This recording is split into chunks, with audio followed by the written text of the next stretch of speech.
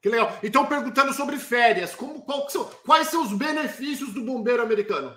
Os benefícios do bombeiro americano, o melhor de tudo é o nosso plantão, né? A gente trabalha 24 e 48, mas depois de seis plantões, a gente tem um plantão livre. Então, eu trabalho seis vezes. 24, 48, 24, 48, 24, 48. No sétimo dia, o meu plantão é livre. Então, eu tenho uma semana livre a cada três semanas. Tá? Então, eu trabalho três semanas por mês e tenho uma semana completamente livre. Eu trabalho oito ou nove dias ao mês somente.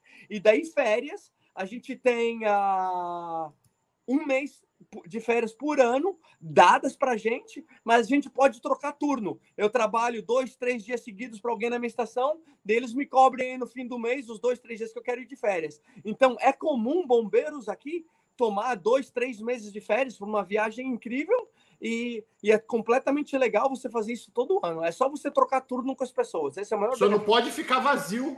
Só não pode ficar vazio. Portanto, que eu tenha alguém do mesmo rank que eu, né, um outro capitão para preencher o meu espaço, eu posso faltar um mês inteiro.